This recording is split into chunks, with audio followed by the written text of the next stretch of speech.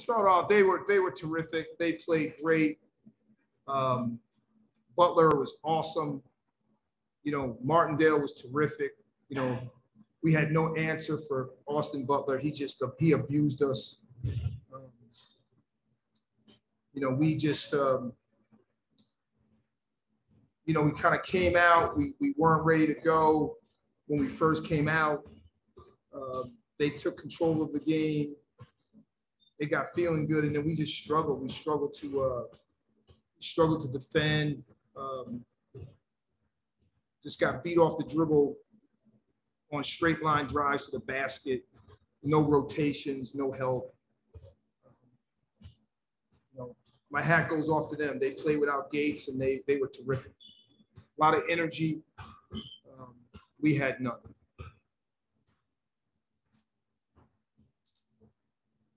Uh, coach, especially in the first half, um, Holy Cross got a lot of looks from three. You mentioned Martindale and Butler obviously made you pay, um, but they overall were doing a good job as a team in the first half. What do you think you can do better on that end?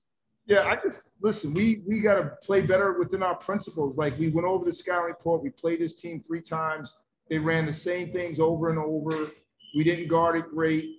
Uh, but the, the, the problem is we were just a step slow to everything. We were just playing on our heels the whole time. Um, you know, the good thing is we didn't quit. We kept we kept fighting through. We, we kept a good attitude. We kept trying to battle, but you know they they they outplayed us. You know, the bottom line, they just outplayed us. Uh, coach, if you don't mind, I want to ask about Jonas Harper. Uh, I saw he tweaked his ankle in the first half, and then it looked like he re-aggravated it into the second half and in the game. Any comment on that? Did you notice that at no, all? I didn't. I didn't really notice. Didn't Okay. And then I also wanted to ask about just the defense from Holy Cross as well. Uh, they came with a full court press basically all game. You guys had 10 turnovers, um, six from McCoy. Anything, any comment on that? Yeah, I just think you know J- Javante's not make. You know, he's got to make better decisions with the ball. He's turned the ball over more this year than he ever has. Um, we just got to make better decisions. You know, um, our game goal is 12, so you know, you know, but Jay had six. That that really hurt us.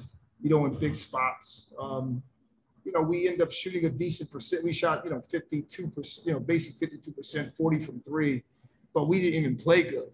You know, we you know we didn't play well at all. So, um, you know, that's that's that's good and bad. You know, we lost by 11, and you know, a lot of that has you have to give Holy Cross a lot of credit. They came in and took the fight to us right away. We weren't ready to go. Uh, Coach, you guys did do a pretty good job on the offensive glass. You rebounded them there 10 to 3. I feel like that's been a pretty strong area for you guys all year.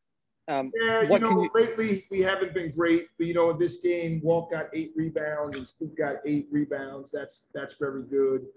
Um, you know, nobody else did much after that. You know, Javante got four, three offensive rebounds, but a lot of that was late in the game with us just trying to get to the rim.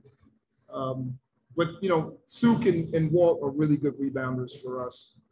Um, you know, but the, the game was really we we we couldn't guard Butler, um, and we just got beat off the dribble constantly for for layups at the rim. I mean, it was, you know, they destroyed us off the bounce. and is that, do you think that's a communication thing or an energy thing? Yeah, is there yeah, a I way think it's an can point? energy thing. I think it's an energy thing. Uh, I think you know we've got to do a better job of being off the ball and, and being in the right spots on the floor to help each other. We got to be ready to rotate, but we, you know, we got to be ready to play. I, I just think mentally we got to change our mindset and be ready to go. You know, um,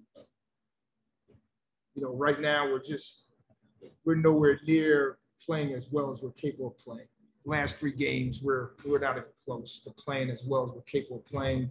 And I think that it's you know the frustration is growing on them, um, and now they're out there thinking instead of playing. Um, and so we just got to try to get back. You know, uh, you know, try to practice two days, get out to Army, start playing a little bit better, get ready for the playoffs. Uh, my last question for you, Coach. Um, obviously, you're focused on this game right now, but You mentioned you have two games left and the frustration that you may or may not be feeling. How do you kind of manage that while also kind of preach a sense of urgency in this final weekend? Yeah, well, a lot of it is, is up to, you know, a lot of this is up to them, you know, at this point of the season, you know, you know, we have veteran players, you know, those guys have got to step up and set the tone and get it done. And right now we're not getting it done. You know, we got guys that played a lot of minutes. I mean, they, they, you know, there was nothing that we didn't go over, you know, um, you know, I, obviously I need to figure out ways to get these guys.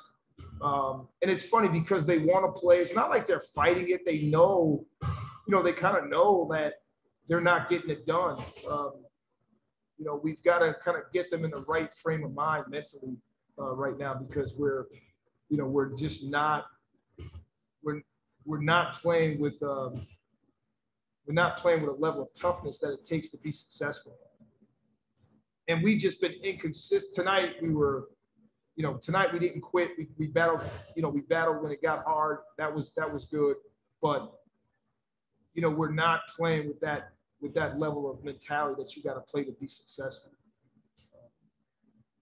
We're just not doing that, and, and we're we, you know we were bad on both ends. I thought we we struggled, no flow in the first half. It kind of took us out of our our flow offensively, uh, and we struggled. And I think, you know, sometimes when we struggle offensively, then we're not focused defensively.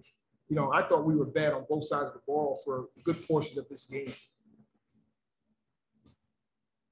Coach, on a little bit of a lighter note, was senior night tonight kind of a, a unique one? Obviously, the, the virtual setting, uh, and also with the eligibility rules, don't know if these are the, this is the last college basketball we're going to see from some of these guys, right? So, just your thoughts on a, a unique senior night here. Yeah, it, it, you know everything is so strange. You know, um, you know, that is definitely one thing that is, is very unique. Uh, you know, going through that with no one here. Uh, but those guys, those three guys are awesome.